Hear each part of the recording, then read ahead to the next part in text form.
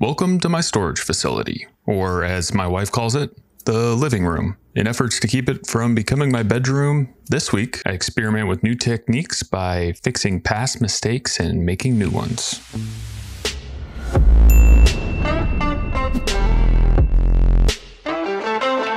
I had a ton of suggestions on what I should do to make these table bases work. From tension cables to support arms made from carbon fiber impregnated wood, but they all failed one test, and that's that they compromised the design. And in case you're new here, both of these bases came from a project earlier this year that didn't work out. So instead of reinforcing the bases, I'm going to attempt to make a lighter weight top.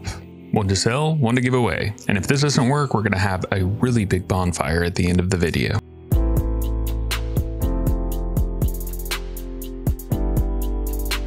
The words lightweight and wood are typically not put together, so I was both excited for this challenge, but also I've been dreading it a little. Probably could have thrown some more steel in the bases to make them a little more rigid, but something about that just seemed like pushing my problem off on somebody else and not making me a better woodworker.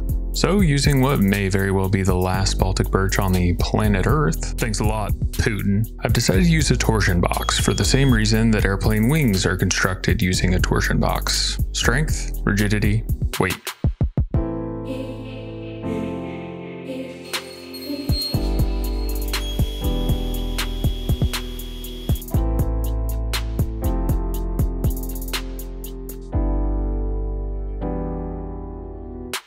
An old and wise, very old in fact, furniture maker and mentor of mine, Tim, sorry Tim, once told me execution should never inform design. The two must be separated and act independent of one another. That is to say, don't worry about how it's going to come together, design it the way you want to design it, and figure the rest out later. Everything's possible. Basically, present self telling future self to kick rocks. Oh, this design? Yeah, that's a problem for future me. I don't know how I'm going to do it yet. This seems like a good time to mention that Tim is a former engineer. My whole life in construction is making a lot more sense now. I think this might take for granted a little bit our natural sense to intuit aesthetic and proportion, design. But as a general rule of thumb, I think this separation of design and execution has served me pretty well. Until these tables, anyway kind of a bummer I have to cover all this up because butter my butt and call me a waffle. That is just so tidy.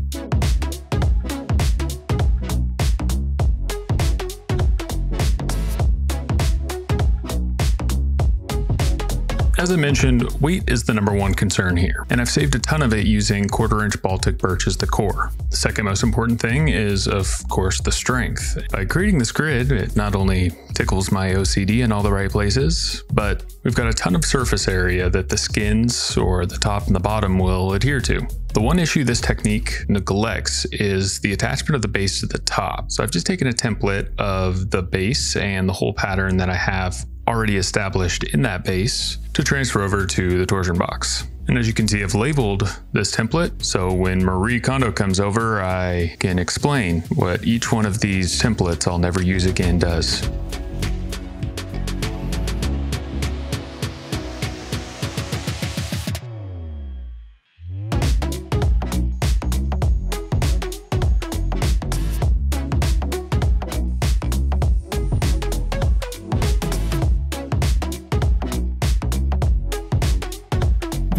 Support blocks act as sort of bridges between the skins. Before assembling the torsion box, I need to get the skins veneered. I didn't set out with the goal of overcomplicating everything, but I want to get better at woodworking, and the only way I know how to do that is to do the next hardest thing every time. And that's worked pretty well for me until these tables. And that's where I failed. And then I failed not once, but twice. So the smaller of the two tables, the one we're working on now, is using commercial veneer. Typically veneer comes in about 142nd inch. This, on the other hand, is a 16th inch, and I really like working with this because it's a uniform thickness and it cuts a ton of the labor out of the process. You'll see in a moment, we need to do this twice. For the larger table, I'll be doing something a little bit different, but for now, let's get all of these segments for the radial match sunburst veneer fit to one another and ready for veneering.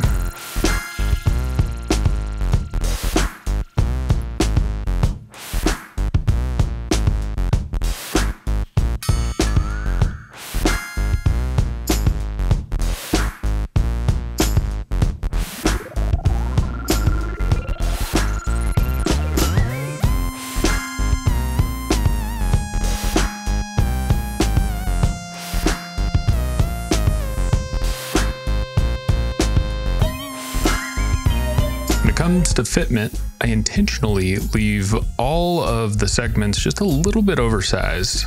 This allows me to trim just a little bit off of the hand plane of that last segment instead of having to come back through and fill, which is much more of a pain in the ass. Once the initial assembly is put together with blue tape, I come back with a little bit of veneer tape, which shrinks as it dries, pulling all those joints really tight together. And so that the edges don't break off, I've come through with a track saw and just nip those off. I've got a fancy veneer saw, but for this thick stuff, power tools definitely make life a little easier. Veneer glue differs from normal PVA in that it dries to a solid, rigid film, preventing what's known as glue creep.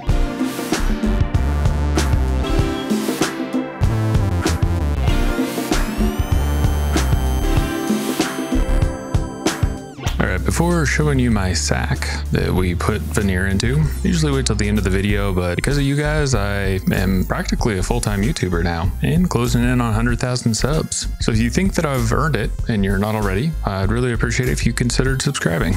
If you recall from a previous video, the smaller of these tables is actually going to one of you guys. So just stay tuned till the end to find out if that someone is you.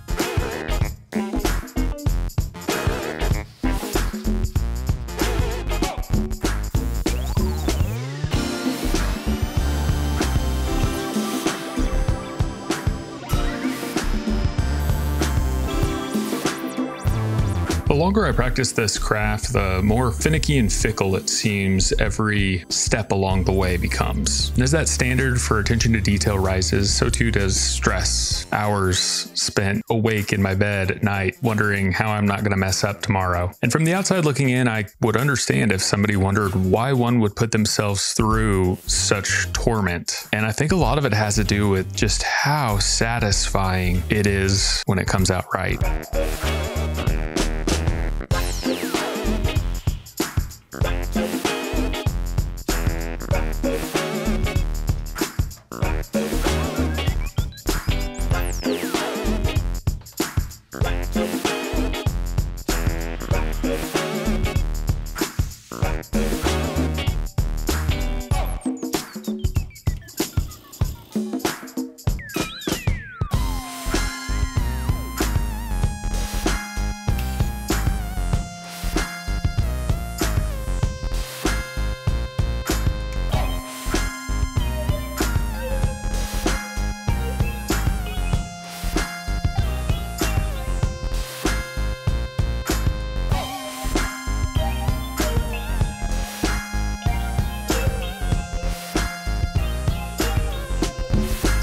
Vinegar in a squirt bottle cleans all of the epoxy right up off of the tools, and we've got the large torsion box ready to go in the bag. While that dries, let's go ahead and get the small one together.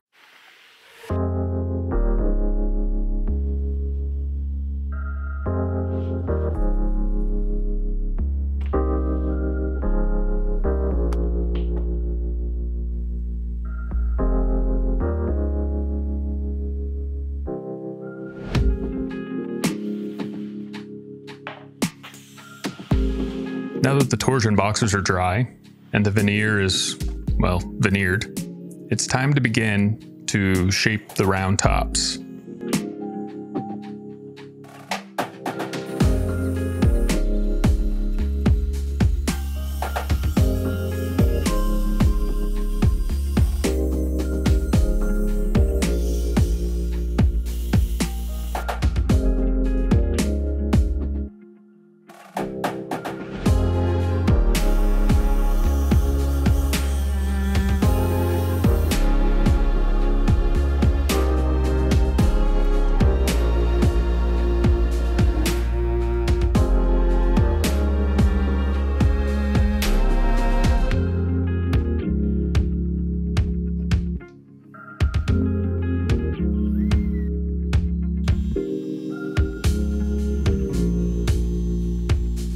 With the rough circles cut out of the torsion boxes, I use a router pivoted around the center to refine the shape. This establishes a reference point for the bearing on the router table to finish the job.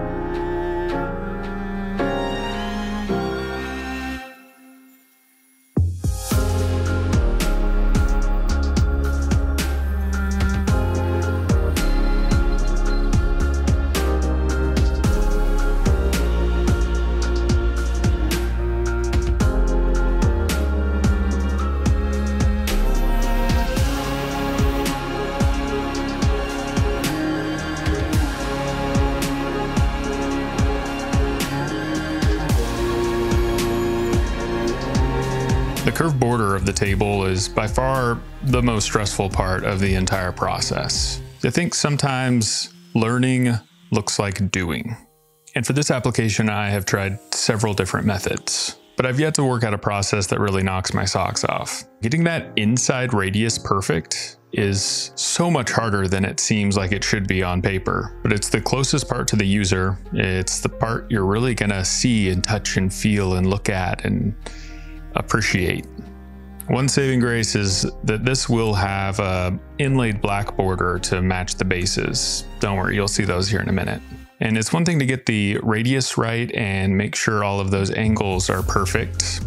You can see I've cut the inside radius, leaving the outside square. So if I need to adjust the angle between, I still have maintained a reference point. But then it's a whole other animal to clamp this border and make sure it's tight and gapless all the way around the table. Once I'm satisfied with the fit of the border, I can go ahead and take that outside edge off. In the past, I've left little ears to clamp the join together. I'll throw a link down in the description of the bistro table if you want to see how that worked. This time around, I've opted for domino connectors. This seemed to work fine, except I don't know that there's enough clamping pressure to like really pull those in with the dominoes. So I might go back to the little ears, but this didn't not work.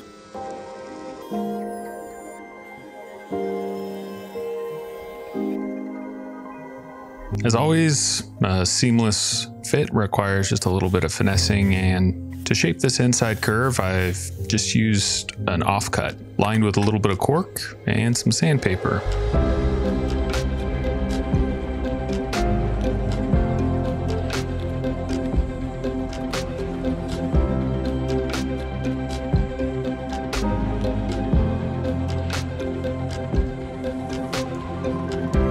In order to match the bases, I'll be adding a small rabbet or shoulder all the way around the top here. A light scoring pass with a marking gauge prevents any tear out as the router plows its way through.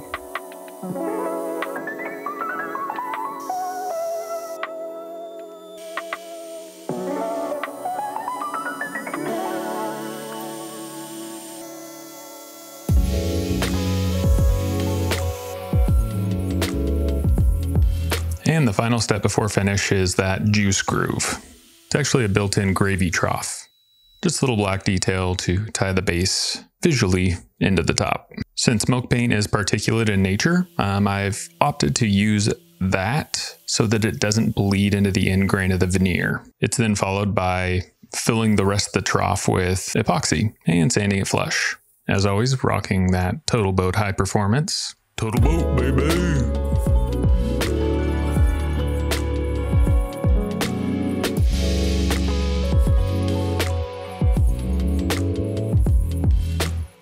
And a steel wool vinegar solution is used to ebonize the border.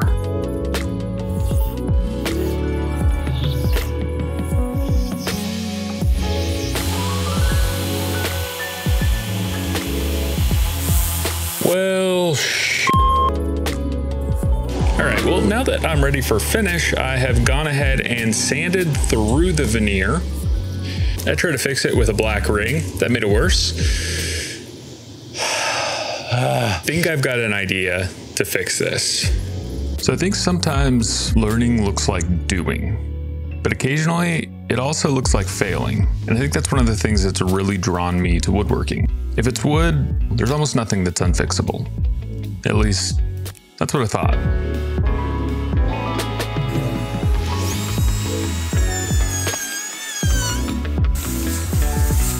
I gotta admit, I don't love showing my mistakes to hundreds of thousands of people, but I do know that you guys like to see them, and I do appreciate the value in seeing how others tackle problems. Inlays in the center of radial match tables such as these, it's not uncommon. Uh, a lot of people can't get the points to gather to one single spot, and you'll see a lot of these tables with inlays. If I had a CNC or Origin, I could have come up with some really cool inlay designs. Since all the lines in this inlay don't match up perfectly with the veneer in the top. I thought it'd be funny looking if I just tried to insert a replacement center. The veneer's already thin, so I'm not confident in doing the gravy boat again around the outside, just because I don't want to sand through epoxy and risk doing this again. But it's the center of the table, and I thought it might look cool to leave this just a touch proud. It's always going to have something centered in the table, and this almost gives it sort of a pedestal, bringing attention to the flaw, thus making it less noticeable.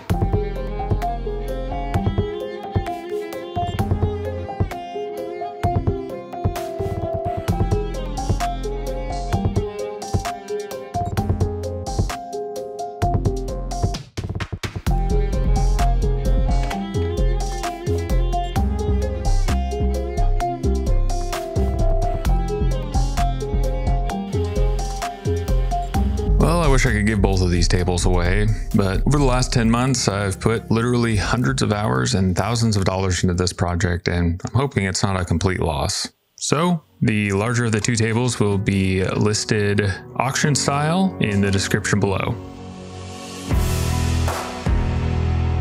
I still don't think the pedestal table is probably the most stable design in the world. There's a little bit of flex still in the large one, but I'm pleased to report all of the jello problem is gone.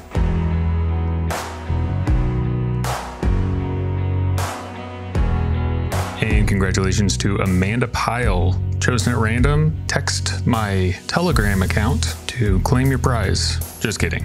I already got in touch with her.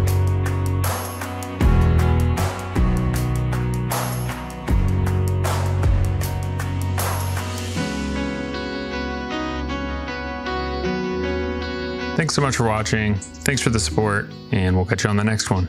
Peace.